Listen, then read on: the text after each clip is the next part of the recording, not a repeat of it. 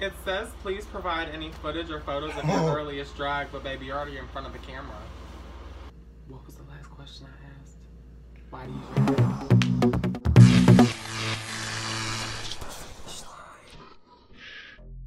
Hello and welcome to the Meet the Queens of the second season of The Finnish Line. I am your host, Matt May Finnish, and today we have the lovely Kalypso Kamille. Why don't you introduce yourself? Hi everyone. Hello. Yes, it's me, Kalypso Kamille, the autistic drag queen from Omaha, Nebraska, of 19 years of age, by the way. Now, what do you hope The Finnish Line can do for you? I honestly hope that it'll help me, you know, do different things that I wouldn't normally do, you know, like put me into situations that I haven't been in before with drag, you know, like this. This is a situation. Hello, everybody. Not the situation, you know, from Jersey Shore, because, huh, let me tell you. But, you know. Every queen is special, but what is one thing that you have that nobody else here does? Well, I'm more than just a drag queen. I'm also a bio king. To me, that means that I can show different sides of drag that not would get represented all the time. You know, like obviously, like hello, Cookie Monster King. Hello, yes, hi. Let me just show this real quick. Like, who would have thought of something like this? You know, not many people here in this competition do male looks, and when they do, mine are better. How would you describe your drag style? An autistic man's confused dreams that he doesn't remember. Why do you drag? Because I love to perform and I love to entertain. Like, I've been performing in drag for almost a year now, you know, I've been performing as a person since I was little, you know, like I've been on stages since I was in kindergarten, you know, so yeah.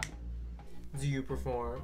I do. I perform in Omaha, Nebraska, and sometimes Lincoln, Nebraska. Well, one time Lincoln, Nebraska, and then I broke my glasses. And yeah, but yes, I perform. If you weren't doing drag, what would you be doing? I would be in culinary school. One of the things that I did in high school was a program to learn culinary school. You know, like I, I got the opportunity to go to college for it, but I didn't do that because I decided to do drag instead. You're five minutes before a drag show, but you're not in drag. What do you do? I take a giant ass brush, the darkest black that I can find, put it around my mouth, put it around my jawline, put on some brows real quick, you know, do a little bit of nice contour, do a little bit of eyeliner as quick as I can, you know, and then put on a mesh tank top and some thigh highs and boxes. And you gotta look. If you're not wearing blank, you're not doing drag. If you're not wearing a smile, no. no, but like honestly, drag is interpretive, so it's like there's not one set thing that you can say you have to wear. if you're not wearing yourself out, then you're not doing drag because it's exhausting. How did you get to the name Kalypso Kamille? So, my high school, the mascots were the pirates. And, you know, Pirates of the Caribbean kind of coincided with that. And, you know, the goddess Calypso from the movie series, you know, I thought she was pretty and I loved the name Calypso. Now, my name outside of drag is Kaleb, but it's spelled with a K. So, of course, you know, I had to kind of continue that. So, it's Kalypso Kamille with a K for both. Please tell me about the monster behind the cookie. I'm a real boy. No. um, honestly, uh, as I said before, I am autistic, you know, like I'm very much in my head a lot as a boy outside of drag. In drag, I am way more body positive. I am able to take off my clothes in front of a, an audience and do splits in a jockstrap mixed with a thong and then have people throw money at me. So, you know, as a boy, I wouldn't normally do that because I'm not that confident in myself, but you know, as a king, as a queen, you know, I get to do what I want and I just have fun. I have said this before and I will not say it again. This is not OnlyFans. Keep your clothes on. I will not repeat myself. Is anyone after your cookie these days? But no, no significant others. So, you know, No. Anyways, Who inspires you?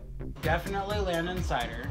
Definitely Dolly. There's a few, you know, it's like I love all forms of entertainment. I love androgyny, I love king, I love queen, I love bio, I love drag.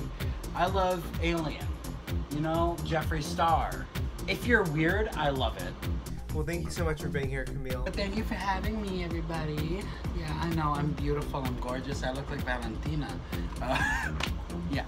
Bye. Well, thank you so much for being here, Kalypso.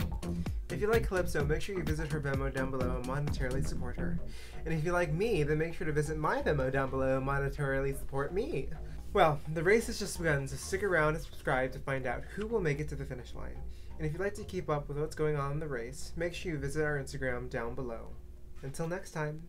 If you'd like to monetarily contribute to the grand prize, then please go through my Venmo and please write, this tip is for the grand prize.